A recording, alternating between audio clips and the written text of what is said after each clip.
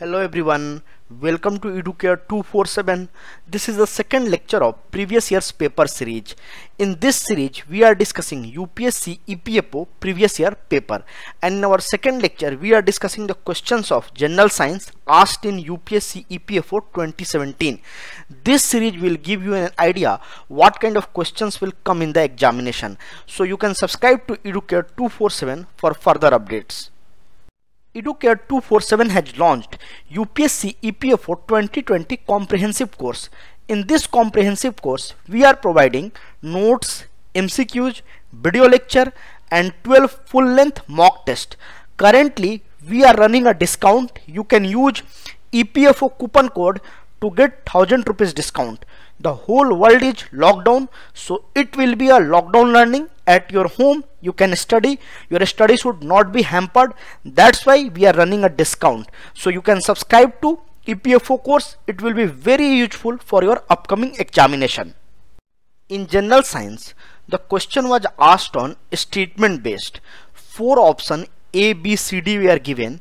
In that two statements were given. You have to find that statements are true or not and the second statement is explanation for the first statement or not. So let's see question number one. First statement is the force on the moon due to earth is an action while the force on the earth due to moon is the reaction.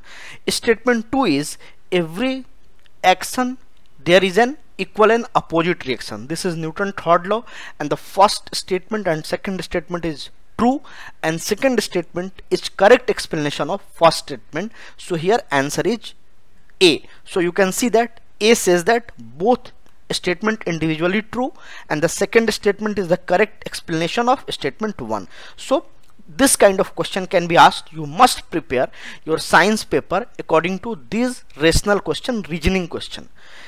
What is question 2 question 2 is it is a common observation that if we place a glass of ice water on table at a room temperature the ice water will get warmer. The statement second is heat is energy that flows between a system and its environment because of temperature difference between the between them. So here this is the concept of heat flow. Basically heat flow from one system to another system if there is a temperature difference.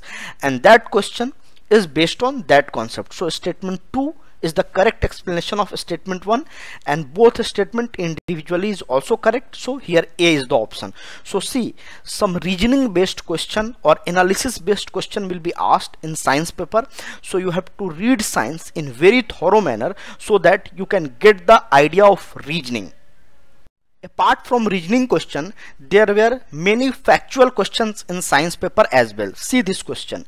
Which one of the following materials is not diamagnetic at standard temperature and pressure? Here the answer is iron. It is completely factual question. There is no reasoning for a time being.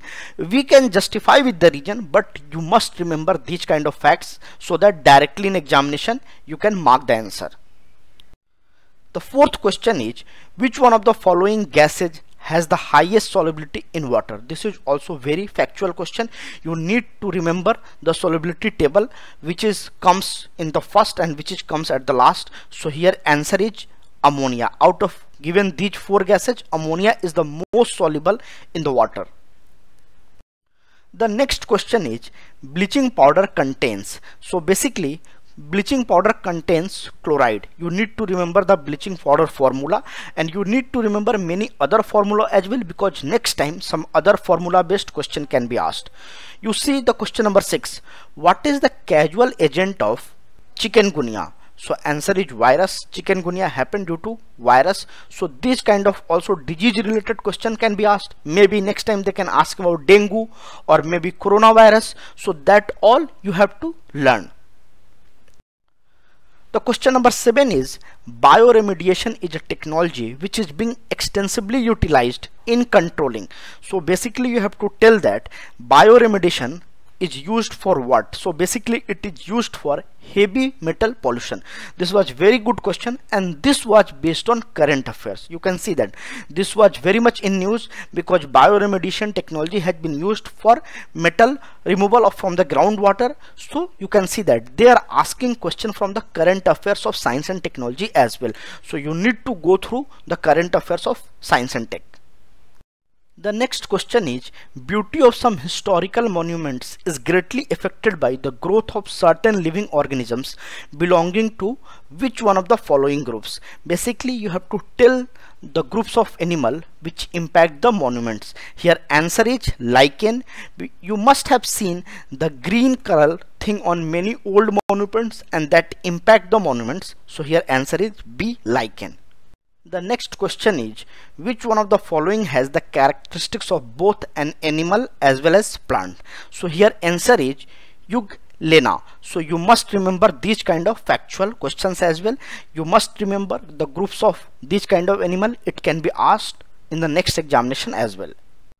The next question is in order to save the stored food grains from the insect farmers usually mix with them here answer is neem leaves. Neem leaves protect foods from the insect. Insect does not come near the food if neem leaves are there. So this is very common practice used by farmer to save their food grains. So this kind of question can be asked in the examination.